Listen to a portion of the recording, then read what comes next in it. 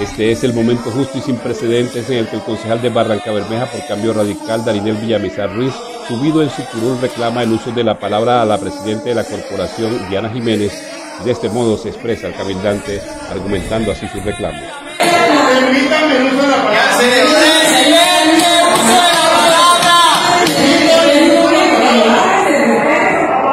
Ante este hecho, la presidenta Jiménez se pronunció y llamó a los corporados a guardar compostura en el ejercicio de sus funciones como servidores públicos, asegurando que la mesa directiva brinda las garantías a todos los cabildantes. Desafortunadamente, en las últimas sesiones se ha presentado comportamientos que están por fuera de lo establecido en nuestro reglamento interno del Consejo.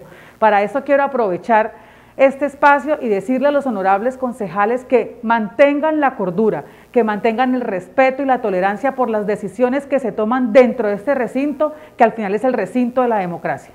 Y por eso insisto en que el respeto, la cordura, la compostura son los valores que deben representar a esta corporación. En diálogo con Enlace Radio 6am, el informativo de Enlace Televisión de las Mañanas, Villamizar Ruiz justificó así su actuación. La reacción fue una reacción ante la impotencia que se tiene por el actual de la presidencia de la mesa directiva. 54 días sin citar, los secretarios de despacho no fueron a rendir su informe de gestión, el presupuesto de la vigencia 2022 se aprobó por decreto y toda una serie de irregularidades que han venido sucediendo en el Consejo y la tapa fue ayer. El video de la subida del concejal Villamizar Ruiz a su curul para exigir el uso de la palabra ya es tendencia en redes sociales.